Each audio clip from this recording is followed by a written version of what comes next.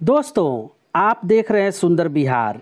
आज संडे है और मैं हाजिर हूँ संडे कमेंट बॉक्स लेकर के। मछली के शिकार से जुड़ा हुआ कोई भी सवाल है, जो सुंदर बिहार चैनल के ऊपर कमेंट में आता है, हम कोशिश करते हैं कि उसको कमेंट बॉक्स में जवाब दें। अगर संभव होता है, छोटा सवाल है तो हम तुरंत जवाब दे देते हैं। अगर ज़्यादा समझाने वाला होता है तो हम कोशिश करते हैं संडे को कमेंट बॉक्स में जवाब देने के लिए। तो आपके मन में मन में भी अगर कोई सवाल है तो हमें कमेंट कीजिए, हम कोशिश करेंगे जवाब देने के लिए। तो चलिए दोस्तों, देखते हैं आज का पहला कमेंट किनका है। पहला कमेंट है लैबा खान की तरफ़ से। ये लिखते हैं कि, सर, शिकार का सही टाइम कौन सा रहता है? देखिए सर, शिकार के लिए सही टाइम सुबह और शाम को होता है। शाम को थोड़ा ज़्यादा अच्छा होता है शिकार करने के लिए। अगर आप रात को भी शिकार करना चाहते हैं तो आप शाम को कांटा डाल देंगे पानी में। और घर वापस आ जाइए और सुबह शिकार कीजिए। ये सब बुआल मछली, गरई मछली, ये कैट फ़िश, इस तरह की मछली के लिए आप रात को शिकार करेंगे तो बेहतर है। कार्प फ़िश के लिए आप दिन को ही शिकार कीजिए। उम्मीद करता हूँ आपको जवाब मिल गया है। थैंक यू अगला कमेंट है खालिद अमीन के तरफ़ से। ये लिखते हैं कि कौन है जो कह रहा है कि मछली नहीं लगेगी तो आपके साथ क्या व्यवहार करना है? पहले मछली है कि नहीं? तुम चेक करो। कोई एहसान नहीं कर रहे हो सुंदर बिहार पर।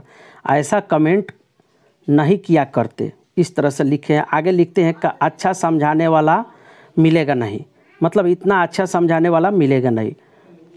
कमेंट पढ़ के हमें अच्छा लगा। ये कमेंट एक्चुअली आया था हमारे पिछले संडे कमेंट बॉक्स में एक व्यूवर ने हमें इस तरह से कमेंट किया था कि भाई मछली शिकार नहीं मिलेगा तो आपके साथ क्या व्यवहार करना चाहिए? हम उनको बोले थे कि भाई, दिल छोटा नहीं करो, आप पहले शिकार करो, क्यों नहीं मिलेगा शिकार? तो दर्शक इस तरह से घबरा जाते हैं व्यूअर जो होते हैं इस तरह से घबरा जाते हैं, उनका दिल छोटा होने लगता है कि हमें शिकार नहीं मिलेगा। दोस्तों, दिल छोटा नहीं करना चाहिए, शिकार कीजिए। कभी शिकार मिलता है, कभी जल्दी मिल जाता है, कभी थोड़ा टाइम लगता है। तो टाइम वहीं पे लगता है जहाँ मछली कम होती है सब, और हम चराई नहीं डालते हैं। तो खालिद साहब ने जवाब दिया, हम क्या कहेंगे दर्शक लोगों को? उनको जो जैसा अच्छा लगता है, उस तरह से जवाब देते हैं। मैं खालिद साहब को भी थैंक यू बोलूँगा और जो कमेंट किए थे, मैं सारे दर्शकों को भी थैंक यू बोलूँगा कि उनको वीडियो अच्छा लगता है और वो कमेंट तो करते हैं हमें। थैंक यू अगला कमेंट है every one can do this Salmani. ये लिखते हैं कि बड़ा शिकार करने के लिए कौन सी डोरी अच्छी रहेगी? हाँ ये अच्छा सवाल है। हम अभी आपको एक तस्वीर दिखाते हैं, प्लास्टिक की जो डोरी होती है, वो अच्छी होती है। देखिए, इस तरह की डोरी है जो अभी हाथ में दिखाई दे रहा है स्क्रीन के ऊपर आपको। इस तरह की जो डोरी है, इससे शिकार करने में आसानी होता है। देखिए, ये बंडल पूरा दिखाई दे रहा है आपको। इस तरह प्लास्टिक की डोरी आप बाज़ार से ख़रीद सकते हैं। इसमें क्या होता है, कितनी भी बड़ी मछली पकड़ ले, ये टूटता नहीं है। और रात को आप शिकार करना चाहते हैं तो इस इस डोरी को आप इस्तेमाल कीजिए और बहुत बढ़िया शिकार होता है और मज़बूत है। आपका हुक टूट सकता है, लेकिन ये डोरी नहीं टूटेगा। ज़्यादा दिन आप इस्तेमाल करेंगे, धूप में ज़्यादा दिन तक ये इस्तेमाल होगा तो आप बीच में एक बार चेक कर सकते हैं, लेकिन बहुत मज़बूत होता है ये शिकार करने के लिए। उम्मीद करता हूँ आपको ये वीडियो अच्छा लगा होगा। अगला कमेंट है शाकिर हुसैन के तरफ़ से। ये लिखते हैं कि, सुंदर जी, आपके चारा का जवाब नहीं, मुझे रात में मछली पकड़ने का ट्रिक बताइए। रेहू मिर्गल और लिख रहे हैं कि, जिस, मैं कम समय में ज़्यादा शिकार कर सकूँ। देखिए सर, रात को अगर शिकार करना चाहते हैं तो जो चारा दिन को आप इस्तेमाल करते हैं, वही चारा आप रात को भी इस्तेमाल करेंगे और आपको शिकार मिलेगा। इसमें एक ट्रिक होता है, जब रात को आप शिकार करेंगे तो चारा चारा जो होता है, थोड़ा ज़्यादा हार्ड होना चाहिए आपका। अगर आप कार्प फ़िश का शिकार कर रहे हैं तो अगर बाम मछली बॉल स्नैक हेड या और दूसरी मछली शिकार करना चाहते हैं तो आप रात को ये सब मछली का शिकार बेहतर कर सकते हैं। आप क्या करेंगे? हुक पानी में डाल करके अगर आप घर से आपका जहाँ शिकार कर रहे हैं, घर से नज़दीक है तो आप हुक पानी में डाल करके चारा लगा के डाल दीजिए और घर वापस आ जाइए, सुबह जाके अपना शिकार पकड़ सकते हैं। तो दोनों चीज़ है, दोनों आप शिकार कर सकते हैं। यानी कि जो जो चारा आप दिन को इस्तेमाल करेंगे, वही रात को इस्तेमाल कर सकते हैं और आपको अच्छा शिकार मिलेगा। उम्मीद करता हूँ आप हमें शिकार करके ज़रूर रिप्लाई कीजिएगा। थैंक यू सर अगला कमेंट है, कल्पनाथ गुप्ता की तरफ़ से। ये लिखते हैं कि, थ्री हुक पानी में डालने पर कंडीला डूब जाता है। इसका, इसके लिए क्या इस्तेमाल करूँ? कंडीला से इनका मतलब है कि जो बबलर होता है ना, वो डूब जाता है।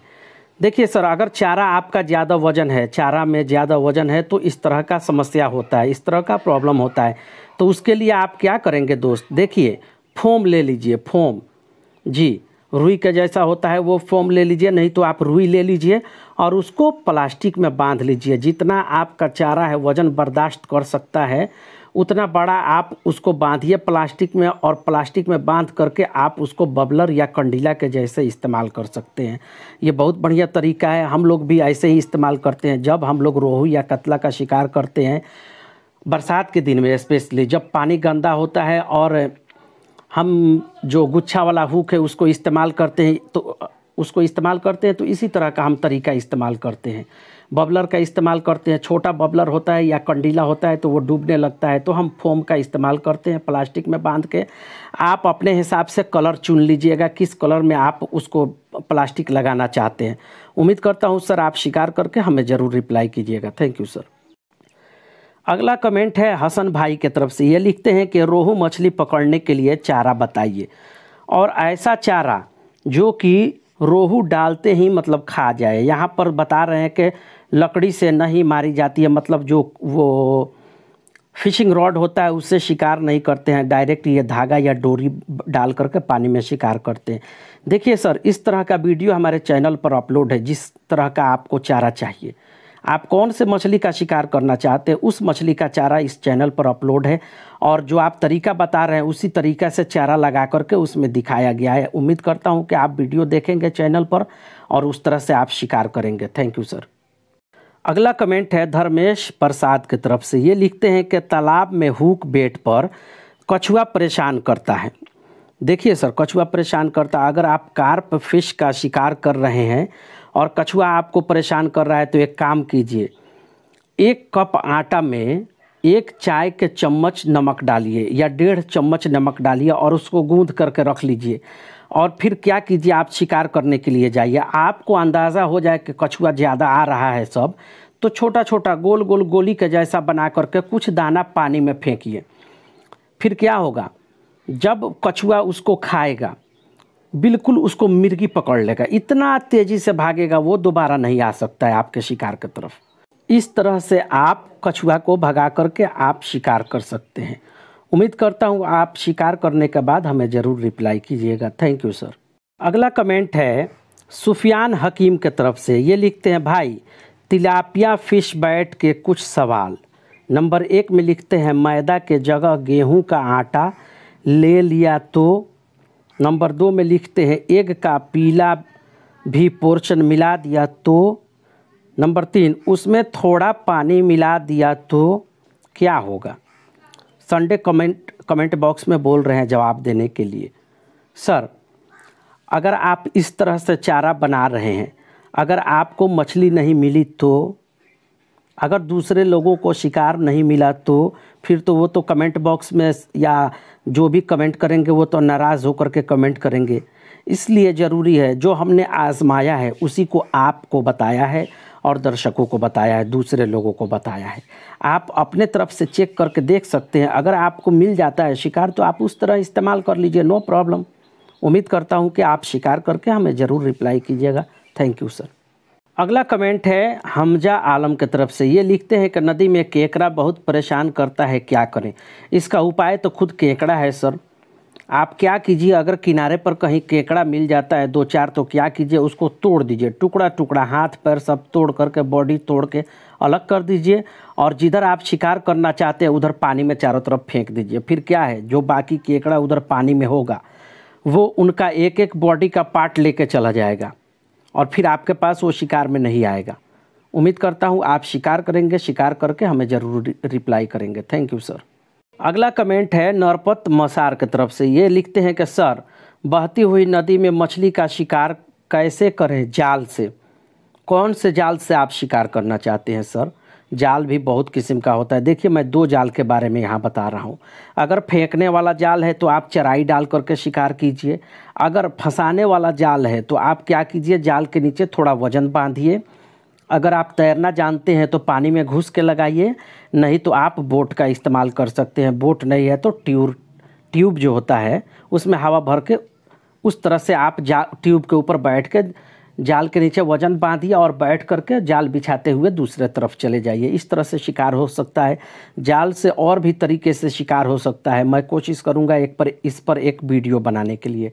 थैंक यू सर अगला कमेंट है समी जैन के तरफ़ से। ये लिखते हैं, कभी बोलते हो कि पानी नहीं मिलाना चाहिए? कभी बोलते हो कि पानी मिलाना चाहिए? ये क्लियर करिए आप। बढ़िया सवाल किया है आपने, सर। सर, हम जहाँ पर बिना पानी मिलाए चारा का मतलब चारा तैयार कर सकते हैं, वहाँ पर क्या ज़रूरी है हमें पानी मिलाने के लिए? और जहाँ पर हम बिना पानी के चारा नहीं बना सकते हैं, वहाँ पर हम पानी डालते हैं। इसका मिसाल आप सब्ज़ी से ले सकते हैं। अगर एक अच्छा सब्ज़ी बनाना ज़रूरी है आपको तो उसमें जो मसाला ज़रूरी है वो नहीं डालेंगे, उसके जगह पर कुछ और डाल देंगे तो क्या होगा? आप समझ सकते हैं। उम्मीद करता हूँ सर, आप शिकार करके हमें ज़रूर रिप्लाई कीजिएगा। Thank you sir.